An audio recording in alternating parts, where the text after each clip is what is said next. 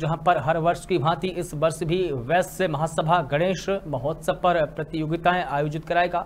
वैश्य महासभा के अध्यक्ष आलोक शारदा और महामंत्री भवानी शंकर नीरज ने बताया कि कार्यक्रम की शुरुआत 19 सितंबर गणेश जी की मूर्ति स्थापना के साथ की जाएगी। इसके बाद 19 सितंबर से 24 सितंबर तक सांस्कृतिक कार्यक्रम, आरती, प्रसाद वितरण किए जाएँगे।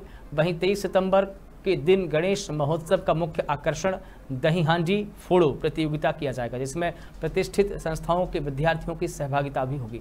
कर रहे हैं इस बार। कुछ चीज़ें हमने उसमें संशोधन भी किया, अपने पिछले वर्ष के कार्यक्रमों में इस बार हमने कुछ संशोधन भी किया है।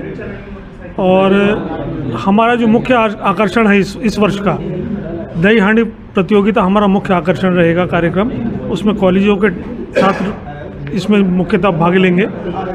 दूसरा हमारा भजन संध्या का कार्यक्रम है। वृंदावन से एक टीम आती है ये पूरी।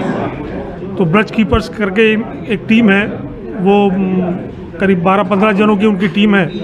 वो प्रारंभ है, वो 19 तारीख को गणेश चतुर्थी से प्रारंभ होगा। विशेष की जहाँ तक बात है तो प्रतिदिन के जो हमारे कार्यक्रम होते हैं, वो सभी कार्यक्रम अनवरत पहले की तरेंगे, तरह चलेंगे। उसमें प्रातःकालीन गणपति जी की पूजा होती है और उस पूजन के पश्चात जो है, शाम को सांस्कृतिक कार्यक्रमों का, एक बड़ी श्रृंखला होती है हमारे पास। क्योंकि हमारा मंच चूँकि एक भव्य मंच है तो आसपास के क्षेत्र के जितने भी स्टूडेंट्स हैं और जितने भी विद्यालय हैं, वो सब उसमें पार्टिसिपेट करने के लिए आते रहे हैं और अभी भी हमारे पास एक बहुत लंबी लिस्ट तैयार हो गई है। हमारी सांस्कृतिक कमेटी इस चीज़ को देखती है। डेली सांस्कृतिक कार्यक्रम होते हैं, शाम को प्रवचन होते हैं और गणपति जी की आरती होती है।